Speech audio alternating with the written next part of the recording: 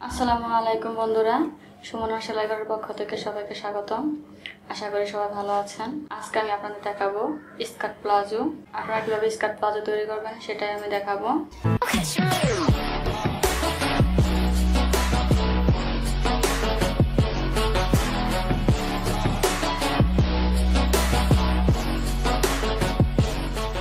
তো বন্ধুরা, এখনও যারা আমার চ্যানেলটি সাবস্ক্রাইব করেননি, এখনই সাবস্ক্রাইব করে নেন।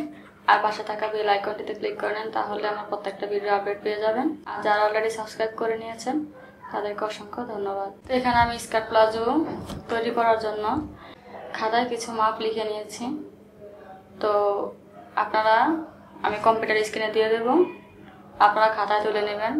আপনারা একই সাথে আমার ভিডিওটা ভালো করে দেখবেন, পুরো ভিডিওটা মনোযোগ সহকারে দেখবেন। সব সময় লেখাতে সব কিছু হয় না। আবার সব সময় কাটিংয়েও সব কিছু হয় না।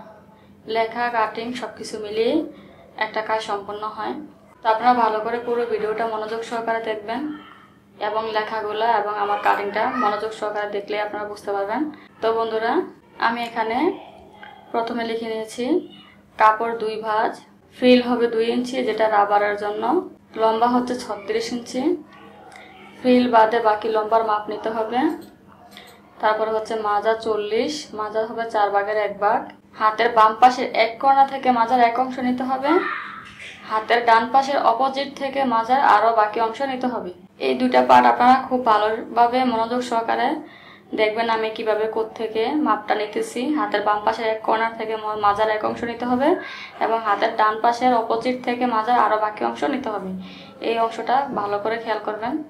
তারপর হচ্ছে হাইয়ের মাপ, হাই নিয়েছি আমি চোদ্দ। তা হাইয়ের মাথা থেকে আড়াই থেকে তিন ইঞ্চি ভিতরের দিকে নিয়ে কাটতে হবে। হাইয়ের মাথা থেকে আড়াই থেকে তিন ইঞ্চি ভিতরের দিকে নিয়ে কাটতে হবে। তো আমি এই পুরো লেখাটা কম্পিউটার স্ক্রিনে দিয়ে দেবো, আপনারা খাতায় তুলে নেবেন। তো আমি এখন গ্রাফস করে আপনাদের দেখাবো, তারপর আমি পেপারের মধ্যে দেখিয়ে দেবো।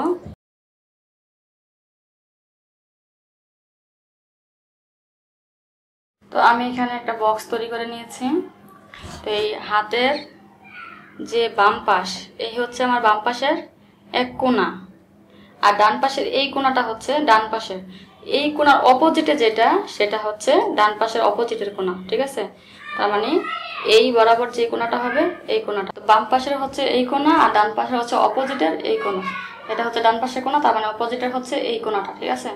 তো এখন আমি কাপড় দুই বাজ ধরলাম। কাপড়টা হচ্ছে দুই বাজ রাবারের জন্য আমি নিয়ে নেব দুই ইঞ্চি, তারপর হচ্ছে লম্বা। লম্বা আমি এখানে ছত্রিশ লিখেছি, তো এখানে তো আর হবে না, ছত্রিশ, তো এখানে চব্বিশ আছে। আমি চব্বিশ দিয়ে দেখাবো। তারপর হচ্ছে ফিল বাদে মানে ছত্রিশের লম্বা, তো এই ফিল বাদে রাবারের অংশটা বাদে কিন্তু লম্বার মাপটা নিতে হবে, ঠিক আছে? তার কাপড়টা দুই বাজে ধরলাম, ফিলের জন্য দুই ইঞ্চি নিলাম, আর ফিল বাদে লম্বার মাপটা নিতে হবে। তারপর হচ্ছে মাজা চল্লিশ, তো মাজা চল্লিশ হলে তো মাজা চল্লিশ হলে হবে চার ভাগের এক ভাগ। তো এখানে তার এইভাবে দেওয়া যাবে না। জাস্ট আমি আপনাদের বোঝানোর সুবিধার্থে নিয়ে নিচ্ছি।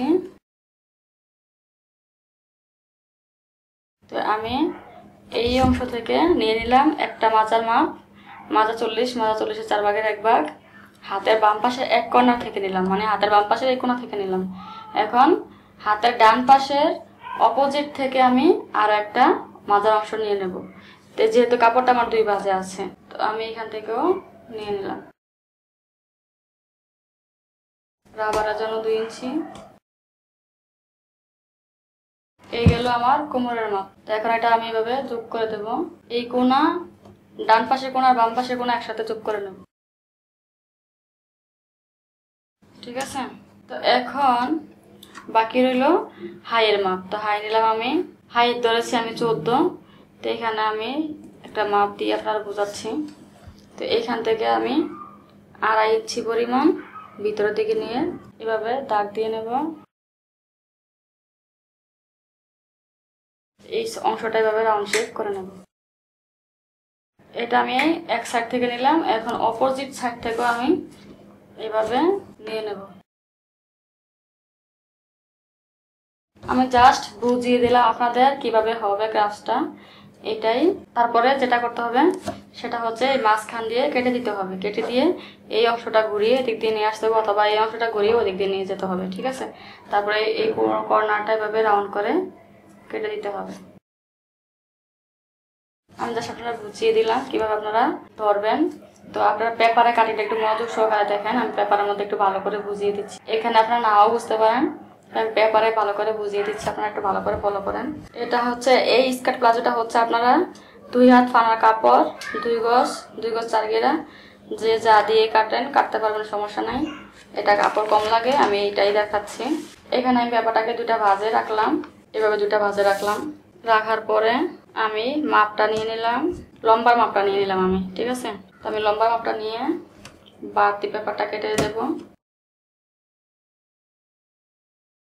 আপনারা যদি দুই গজ কাপড় দিয়ে দুই হাত পানার দুই গজ কাপড় দিয়ে স্কার্ট প্লাজো তৈরি করেন, তো ওইটাকে আপনারা দুই গজ কাপড় যদি হয়, তাহলে এক গজ পরিমাণ মাঝখানে ভাঙা দিয়ে দুই বাস করবেন, ঠিক আছে? মানে এক গজ এক গজ পরিমাণে ভাঙা দিয়ে দুই বাস করবেন। আর যদি দুই গজ, দুই গিরা, চার গিরা হয়, তাহলে সেম এভাবেই মাঝখান থেকে মাঝখান বরাবর ভাঙা দেবেন। মাঝখান বরাবর ভাঙাটা দিলে তাহলে আপনাদের দুই বাস হয়ে যাবে, ঠিক আছে? তো এখন আমি লম্বার অংশটা তো নিয়েই নিলাম। লম্বা হচ্ছে ছত্রিশ ইঞ্চি ধরেছি আমি। তো রাবারের জন্য নিলাম আমি দুই ইঞ্চি। এই সব ক্ষেত্রে একইভাবে হবে। যত মাজাই হোক, লম্বা যতই হোক, যাই হোক, সবই একইভাবে হবে কাটিং তো আমি রাবারের জন্য দুই ইঞ্চি নিয়ে বাকি লম্বা ছত্রিশ ইঞ্চি এখানে নিয়ে নিলাম। এখন আমি বাম হাতের এক কোণা থেকে, এটা হচ্ছে আমার বাম অংশ বাম হাতের এক কোণা থেকে আমি মাজার একটা অংশ নেব। কাপড়টা দুই ভাজে আছে, এটা চার বাজে হলে একদিক থেকে নিলেই হয়ে যেত। যেহেতু চার বাজে আছে, এটা আমার স্কার্ট প্লাজো, তো আমি বাম হাতের এক কোণা থেকে একটা মাজার অংশ নিব আর ডান হাতের অপোজিটের এক কোণা থেকে আমি একটা মাজার অংশ নিব। তো মাজা হচ্ছে চল্লিশ, চল্লিশের চার ভাগের এক ভাগে হয় দশ। তো আমি দশের সাথে আমি কিন্তু আট যখন খাতায় আট করেছি, তখন কিন্তু আমি শুধু মাজার মাপটা নিয়েছি, কারণ খাতার মধ্যে অত বেশি খাতার পাতা নেই যে আমি দেখাবো। তো এখন আমি দেখাচ্ছি আপনারা কীভাবে মাজার মাপটা নেবেন। তো মাজা হচ্ছে চল্লিশ, চল্লিশের চার ভাগের এক ভাগে হয় দশ। মাজা যতই হবে, যত ছোট বড় সব সাইজের একই মাপ, মাজা যত হবে তার চার ভাগের এক ভাগ। সাথে আরও তিন ইঞ্চি বাড়িয়ে নিতে হবে। তো দশের সাথে আমি তিন ইঞ্চি বাড়িয়ে তেরো ইঞ্চি পরিমাণে নিয়ে নিলাম। ঠিক আছে? এটা হচ্ছে এই বাম হাতের এক কোণা থেকে। বাম সাইডের এক কোণা থেকে। তো ডান হাতের অপোজিটের এক কোণা থেকে আমি এভাবে তেরোর মধ্যে দাগ দিয়ে দিলাম, ঠিক আছে? দাগ দিয়ে আমি এখন এটা এভাবে এই পাশের আর এই পাশের একসাথে আমি যোগ করে দেবো। তো এখন আমি রাবারের জন্য যে দুই ইঞ্চি, এই দুই ইঞ্চি বরাবর দাগ দিয়ে নিলাম। এই দুই ইঞ্চি বরাবর দাগ নিলাম। এখন এই পাশ থেকেও আমি দুই ইঞ্চি বরাবর এইভাবে দাগ দিয়ে নিব। এখন দুই পাশ থেকে আমার ফিলের যে মাপটা নেওয়া শেষ মানে রাবারের জন্য যে মাপটা নেওয়া শেষ। এখন আমি নেব হাইয়ের মাপ, ঠিক আছে? তো আমি হাই নিলাম চোদ্দ। হাইয়ের মাথা থেকে আড়াই থেকে তিন ইঞ্চি ভিতরের দিকে নিয়ে কাটতে হবে, কারণ এটা ভিতরের দিকে হবে, সামনের দিকে কোনো কাপড় নেই। তো এটা ভিতরের দিকেই হবে। এখানে আমি তিন ইঞ্চি পরিমাণ ভিতরের দিকে এভাবে দাগ দিয়ে নিলাম। এদিক থেকেও আমি তিন ইঞ্চি নিয়ে নিলাম। এখন আমি এটা সমান করে দাগ দিয়ে নেব। এখন এভাবে রাউন্ড শেপ করে দেব। বাস, আমার এক সাইড থেকে হায়ের অংশ কাটিং করা কমপ্লিট তাহলে আমি অপর সাইড থেকেও হায়ের অংশ কাটিং করে নেব। চোদ্দ নিয়ে নিলাম। নিয়ে আড়াই থেকে তিন ইঞ্চি ভিতরের দিকে দাগ দিতে হবে।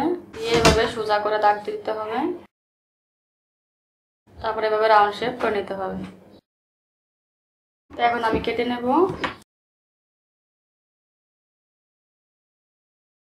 এখন এই যে মাছ বরাবর আমি দাগটা দিয়েছিলাম, এই দাগটা আমি মাছ বরাবর কেটে নেব। এখন এইভাবে হলো।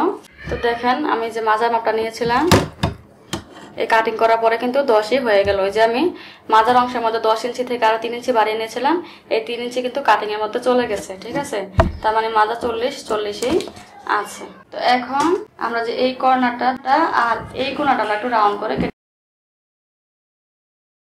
তোমার কাটিংটি কমপ্লিট এটা হচ্ছে দুই হাত ফানার কাপড়, নিয়ে আপনারা এই প্লাজোটা তৈরি করতে পারবেন। খুবই সহজ, খুবই কম কাপড় লাগে। তো আরও একটা স্কার্ট প্লাজো কাটিং আছে, সেটা আমি পরবর্তী ভিডিওতে দেখাবো। ওটা কাপড় লাগে বেশি এবং ফানাও বেশি লাগে, ঠিক আছে? তো আমি খুব সহজ করে আপনাদের দেখানোর চেষ্টা করলাম। আপনারা একবার যদি ভিডিওটা না বোঝেন, তাহলে আর একবার দেখে নিতে পারেন। আর যদি তারপরও না বোঝেন, আপনারা অবশ্যই কমেন্ট বক্সে জানাবেন। আমি আপনাদের সমস্যার সমাধান করে দেবো। তো বন্ধুরা, আমার ভিডিওটি যদি ভালো লেগে থাকে, তাহলে অবশ্যই লাইক কমেন্ট শেয়ার করতে ভুলবেন না। আর যদি আপনাদের কোনো মতামত থাকে, তাহলে অবশ্যই কমেন্ট বক্সে জানাবেন। আমি রিপ্লাই করব। তো বন্ধুরা সবাই ভালো থাকবেন সুস্থ থাকবেন।